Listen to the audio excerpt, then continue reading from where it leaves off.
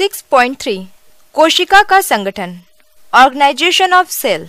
कोशिका का अपना एक ढांचा होता है, जो अक्सर बदलता रहता है। हम आज तक यह जान पाए हैं कि कोशिका के कई अंग कोशिका झिल्ली से ही बने हैं। हम उनका अध्ययन अंत झिल्ली तंत्र के अंतर्गत करेंगे।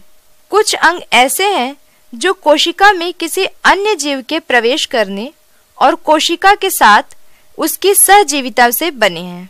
ऐसे अंगों का हम अंत सजीविता के अंतर्गत अध्ययन करेंगे।